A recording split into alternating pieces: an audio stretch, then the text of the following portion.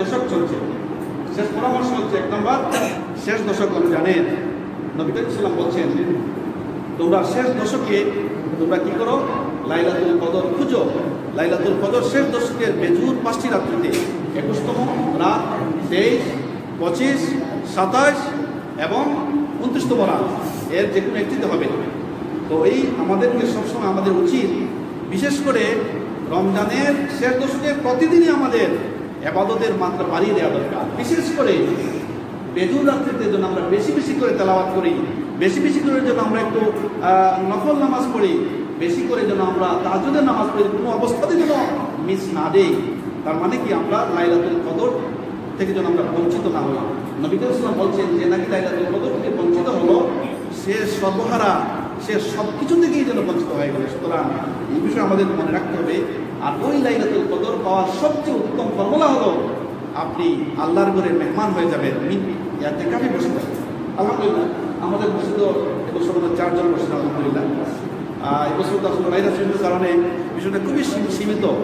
তো আমার কথা হলো, আমার পরামর্শ হলো, আপনারা যারা জীবনে কখনো এতে কাপ করেন নাই, যেন এরকম রাসুল ইসলাম যতদিন বেঁচে ছিলেন, এক বছর বাদ দিলে প্রায় প্রতিটা বছরে তিনি এতে কাপ করতেন।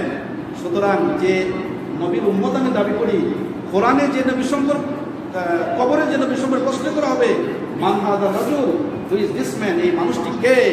তখন আমাকে বলতে হবে, মোহাম্মদ ইসলাম দাবি করে চিনতে হবে, বুঝতে হবে, এই নবীর একটা শূন্য যদি আমি আমল করলামই না, আমার অনেক কিছু বাকি রয়ে এই যদি নাই পারেন চূড়ান্ত সিদ্ধান্ত নেন, যেন অন্তত আগামী পর্যন্ত বেঁচে থাকেন, যেন এতে কাজ করতে পারেন, এই বিষয়ে সিদ্ধান্ত নেওয়া দরকার।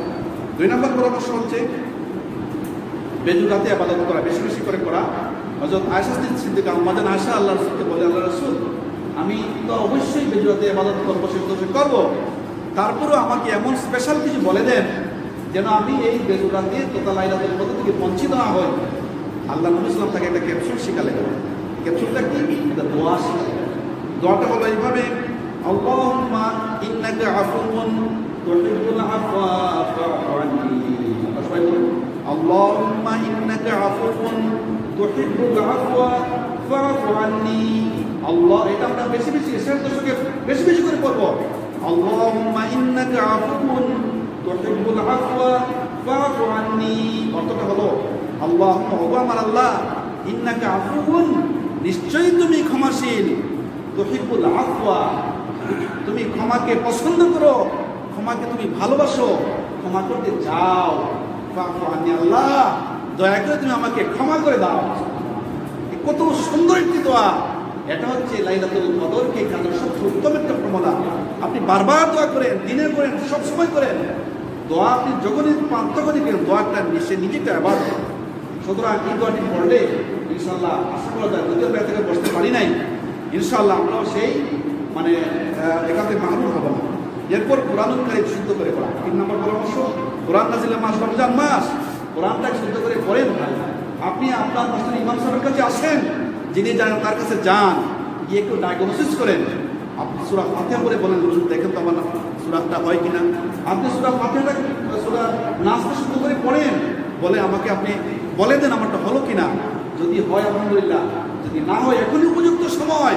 কোরআনটাকে শুদ্ধ করুন। কোরআন শুদ্ধ করা যদি না পড়েন সারা জীবন নামাজ পড়েন, আপনার নামাজ কখনো কখনো করে, হবে না। যদি আল্লাহ ক্ষমা করে, সেটা ভিন্ন বিষয়। কিন্তু ফতুয়া কি বলে? আপনার নামাজ আল্লাহর কাছে গ্রহণ হবে না। এরপরে পরামর্শটা হলো চার নাম্বার কোরআন বুঝে পড়া। কোরআন আল্লাহ আপনাকে দিয়েছেন, আমাকে দিয়েছেন। আপনার আমার জন্য আল্লাহর পক্ষ থেকে একটা মেসেজ এসলো কোরআন, আরবি ভাষায়। যদি আমি বাংলা ভাষাভাষী মানুষ, আপনার উচিত, আমার উচিত যে সময় তো নামাজের জায়গা আছে। তিন তালায় নামাজের জায়গা আছে আপনার দয়া করে তিন তালায় চলে যান যদি জায়গা না হয়। বলছিলাম কোরআনুল কারীম বুঝে পড়তে হবে।